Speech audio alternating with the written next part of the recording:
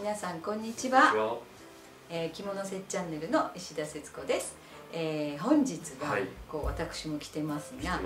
はいあのもうそろそろ夏ということで、はい。有松絞りの、えー、浴衣の、えー、ご紹介をしたいと思います、懐かしいですね。懐かしいよね。ちょうど1年ぐらい前にね。そうそう。ケビンが趣通信でね、はい私をゲストに招いてここで撮ったんですけどそう。はいあのすごい興味を示してくれて。いやその時と私と違うね有馬絞りの装いはいだと思うんなですが、のでそれじゃないやつにしてみました。ね先生有馬絞り大好きですもんね。大好きです。あの師匠の池田先生が好きだったので大好きなんです。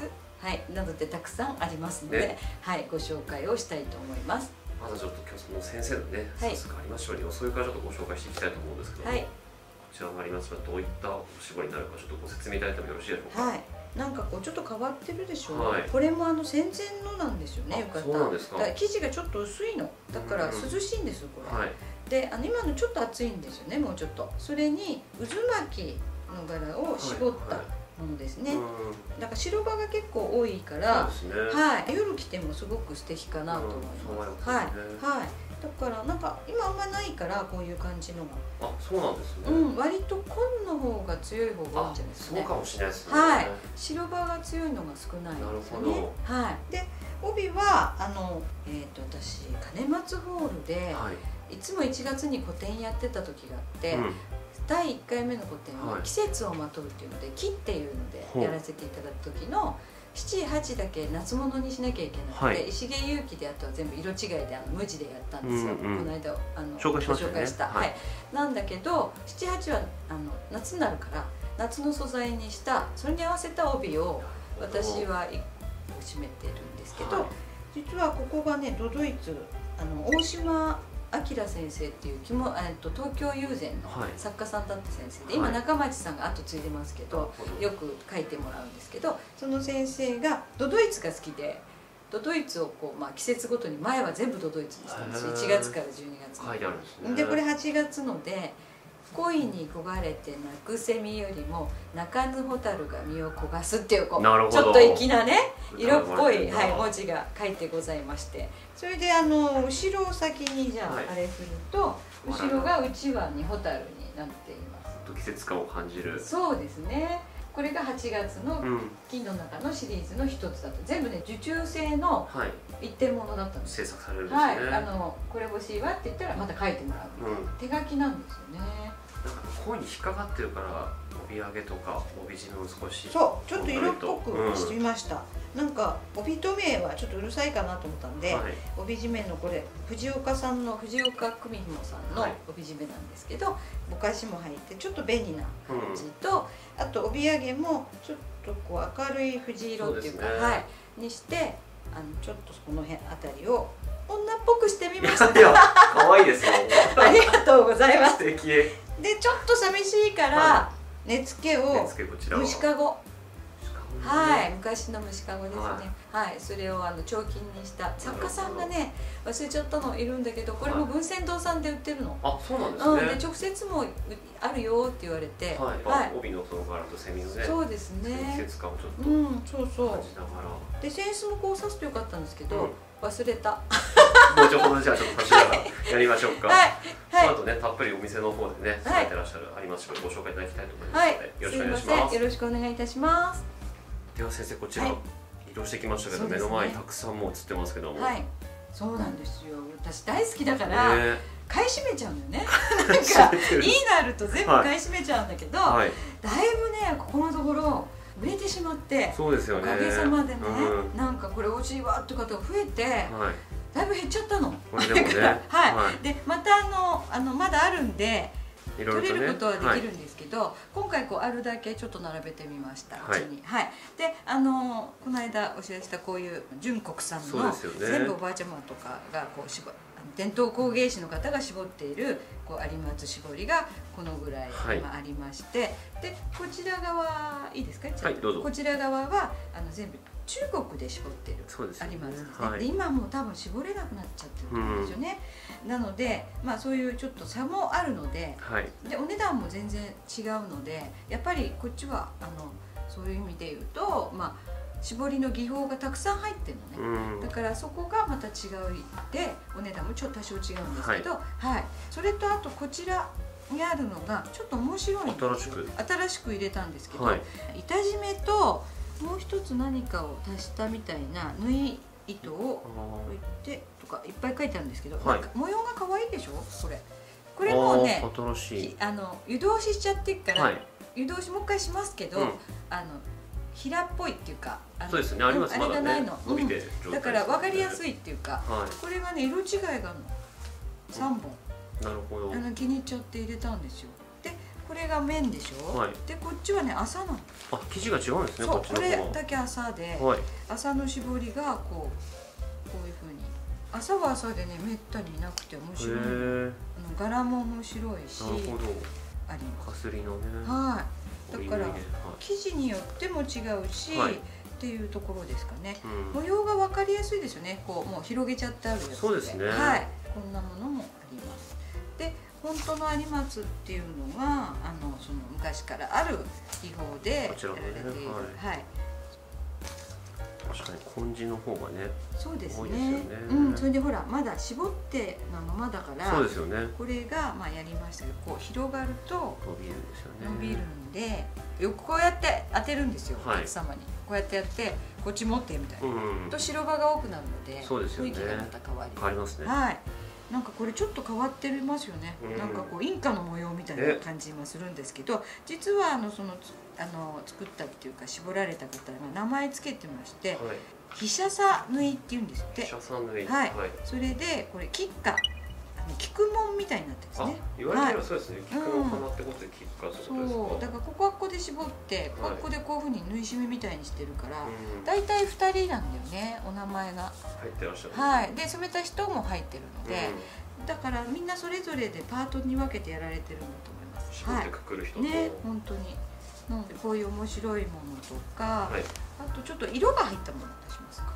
ちょうどあのこれ多分もみじみたいに見えるようなこれはこれで絞ってここもここで絞ってるんですけど、これもあのちょっと色が入ってそうですねポイントポイントでグリーンのポイントでこれは3人の方が絞ってますねへはい亀甲もみじ大もみうん、っじていうふうに、あまあ、亀甲の中にもみじがあるなるほどはい、っていうなんかこう色が入ったものもたまにあります。はい。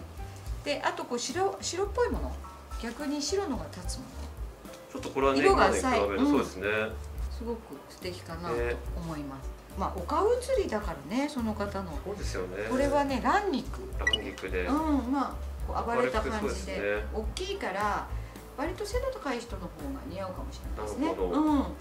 あともう一つぐらいこの中国で絞ったものもなんでしょう。こっちはね割と幾何学っぽいの。こちらの方はうん、どちらかっていうとこういうほらでもそうですねあの私好きなんだけど島横段にい絞る。いですよね。うん縫い締めなんだけどこうやって。使いやすそうそうこそうだからこういうのも別に問題ないんですよ。れははい。だからお手軽にこういうのだったらあの着ていただけるのかなと思います、なんかあっさりしてて素敵でしょ？そうですね。はい。色味として。これね。本当好みですよね。好み。白場が多いのが好そきか。う。でまあこれも同じような感じでただこういうのもあるでしょ？亀甲になってる。あ本当だ。さっきのね。うんポイントポイントの入ったやつと似てますね。でもやっぱり風土が違うんであ日本ののそうそう日本の人が絞るのとやっぱりちょっと違う感覚がするんですよ。うん。手絞りでも同じ、だからなんかわかるのかなそれは、日本の方がやっぱちょっと絞りとかクリア細かい印象がなんかうん、そうそう。そのあたりはありそうですそうだと思います、まあそこまでの技術を、うん。あの中国に教え教えてないっていうなんかこうだってちっちゃい頃からずっとやってるんですもんね。ね。皆さんあの、うん。あれがないんですって。特に口伝えだから、う誰かに教えてもらって覚えるわけじゃなくて、うん。毎日やってるうちに覚えちゃうんだなるほどよねちっちゃい頃からやってるから。で前も言ったと思うんですけどあの一時期みんなあのこれじゃ食べられないってなって、はい。出稼ぎじゃないけど就職しちゃうんですよ、はい。そういう方たちが。で今ほら定年になって戻ってらしてはいややり始めあてその手が覚えてるからなるほど。っていう方で今持ってるっていうのは聞いたことがあるんですよね。はい。だから次に後継者がどこまで出てくるかっていうところだとは思いますね。はい。でこういうなんか色物もねこういう色もねたくさん出してるの。そうですね。うん、あの有松行くと、まあ、紺の他にも色物もありますし、はい。あと石化絞りもありますしね。はい、なのでこういうのも素敵かなと思います。あはいはい、で大体こういうのにね合わせるのって半幅が多いと思うんだけど、まあそうですね。そう。でも私はあのあえてお出かけ浴衣っていうのでも昔から、はい。あの名古屋帯合わせたらどうっていうのをうん。ご提案してるんですよ。はい。でまずあのこういうあの半幅？これ本県産のなんですけど、はい。こういうなんか沖縄のあの花織りみたいなうんいいですねえーこれね夏冬関係ないですからあ通年使える、はい。リバーシブル？リバーシブルですね。うん、だから両面使えてはい。夏も冬も合わせられます。こんなのもあの色違いで3つぐらいあるので渋い方がいいのかちょっと明るくしたいのか、うん。そういうのでこう合わせられてみてもこうう裏がねまた違うから両面締められるじゃない？そうですね。これも。だからこれブルーブルーで合わせてもいいし違う色で合わせてもいいしっていうところではありますね。はいえー、とこれがね面白いの。中国で絞った、はい。あの浴衣を広げちゃって帯に直しちゃった。ああなるほど。はい。もともとは着物だったものですね、で有松のあのメーカーさんだけど、はい。で裏に麻がついてて、うん裏を麻にしてあったりして面白いですよね。そうですね。ん。存在感として似てるし、はい、だからこっちは木綿になりますね、はい。でこういうなんか絞りだけど広げちゃってこう麻つけて、うん。っていう感じで。こういうふうに考えると着れとしてもすごくなんていうか応用範囲が広いっていうか、はい。何にでもあとワンピースになさる方もいるんですよこれで。有松勝利を、はい。すごいなそれ。は、はい。そうそういるんです。なるほど、はい好きだからって言って。はいわざわざ買って洋服に直す方もいらっしゃる、あと日傘にしたいとか、あそれはねねちょっとでもこれ日傘もったいないですもっねたいないですね、はい。いですね、えでもしたいっていう方いるんですよ、うん。はい、だから余ったものをなんかワンピースにして余ったもので日傘にするとかなんかいろんな活用なさるみたいです。はいまあだからそれだけ好きな方が多いっていうことだとは思います。はい。じゃあこの続けてね名古屋日、はい。ちょっとご紹介合わせながらはい。お願いしたいと思うんですけども。ね私といえばコーディネートしないとね先やっぱり。ご紹介いただいた3つのね、はい。ねこれだけじゃわかんないですもんね、うん。とで先ほどあの半幅帯のご紹介したと思うんです、はい。半幅帯は割とコーディネートしやすいと思うんですよ。で私がちょっとご提案するのはちょっとお高いあの、まあ、いいワンランク上の浴衣には、は私はあの半襟つけない派なんですよ、うん。私今日もそうですけど。であの涼しく着ながらにしてちょっと清掃感を出したいうん。そうすると名古屋帯がいいかなとはい。思っておりまして昔から提案してるんですがこういう博多のこの3つ並べてみました、はい。先ほどご紹介したものの。そうするとこのね車検状といってちょっと透けるあの献上帯になります、はい。あの博多帯。こういうのを真っ白で潔く合わせるとそれはそれでこうかっこいいかなと。これがもうちょっと本当はこうはいね広がってあの白と白がこうぶつかる感じですけどもきっぱりな感じにしていただくとまた素敵かなと。うで次ねこちら。でこちらのあの、えっとグリーンがちょっと入ってるじゃないですか。はい。なのでこのあの前もあの警備員の時に入れてた帯なんですけど趣通信の時に、はい。これはあの先折りっていうやり方で,、えーですよ夏ねはい。夏の帯ですけどこんなのグリーングリーンで合わせんて色がね入はい。これも名古屋で締めていただくとまたかっこいいかなとあこれ先折り。先折りってうんだけのかあのね木をあの切れを裂いて、はいはい。あの普通のそれをこう織り込んでいく。手織りで。大体ねなんとなく。はい。でこっちだったらと思ってこの辺に全部やるんだけどこういうのもかっこいいんですよね。ほらすごいでしょ？隙間が。透けはいねすごい。こうい。うのララ織りっていうんですけどはい朝のラ織りの帯になりますがこういうのをごめんなさいこれ表紙がねこうつけちゃうけどあのもっと普通に出ますがここにやるとなんかちょっと優しい感じになりますよね、でもう一つこうちょっとポップな感じにしたいんだったらこれだけこういろいろ変わるなと思って。あ本当ですね。どっちがいいですか？僕こっちの方が好はいわかりました。いいですかね。全然いいんです。うんじゃあこれをちょっとみんなそうするとタイプがね違って。三者三様のねコそーディネートですねね。はいいいですねこういう季節感の感じる素材でのそうですね。帯うん、私は好きですね。これで足袋も履けるし、うん。草履も履けるんですよ。はい。下駄でももちろんいいですし、素足でもいいですから、はい。それはお好みでなさったらいいかなと思います。でこういうのに合わせるグッズとして、はい。この朝がおすすめなんですね私は。洗えるから、朝。そうですよね。朝の帯揚げが今多種出てましてこう黄色とかこれこういう曖昧な色だとなんかまた素敵なあ馴染みやすそうですね、うん、こそうするとこういう感じに入れてもいいですし、はい。こっちあのパンパンってくるのでなんかこう黄色。これ2色になってるから使いやすいの、そうですよね、うん、一番向こうちょっと大人っぽく合わせるとかっこいいなと思ってて浅木かな？うん本当に色入れない。うん。この2色なのまあ2色入ってもいいけどあんまりグリーンこのグリーンじゃなくてこの浅木ぐらいの色で合わせると多分すごくあの大人な感じが一番これが大人な感じあがする確かにかもね品のね。うん。なんかやっぱ博多のこのねそう車検がねうんかっこいいんですよね。でまたこういうのにしちゃうとポップになりますよね。うんうん、だから本当に合わせるもので変わってそれにこういうなんか季節の帯とねあいっぱい届きまして季節感感じるはい。モチーフのですね、そう。とか根付けとかではい。遊んでこうアンモアンモナイトとかでしょありますね。アンモちゃん。タコの彫金もあります。そうそう。タコチョウキ何でもいきますよ。でそら豆もあるんですよ。そら豆こんなの可愛いんじゃないですかね。確はい。それとえっとこのサンゴ？はい。サンゴこういうの可愛いんです黄色とこれでね。ああいいですね、うん。ちょっと赤がいいですサンゴと象ねはい、でうん。あとトンボもいる。でもアンモナイト面白いですよね。ね。うん。なんか本当パールみたいに見えパーるしルみたいで。品がいいですね、うん。これは。でここ大人ね。ね。でここちょっと遊び。はい。でここはちょっとポップなイメージになりましたね。金魚入れても可愛いかも。こうやって根付けでこれが千鳥。千鳥はこれだな。やっぱ海つながりで。うん。アンモナイトと千鳥。こんな感じで。はい。で三部紐もこういろいろ。こんな感じそして、えこういうの考えるのが一番楽しいですよね。ーそうなんですよ。これかっこよくないですか？白に白に白。これ本当にだから上級者っていうかね大人の人って感じですね。う。ん私は好き。ね。であともう一個そこですね。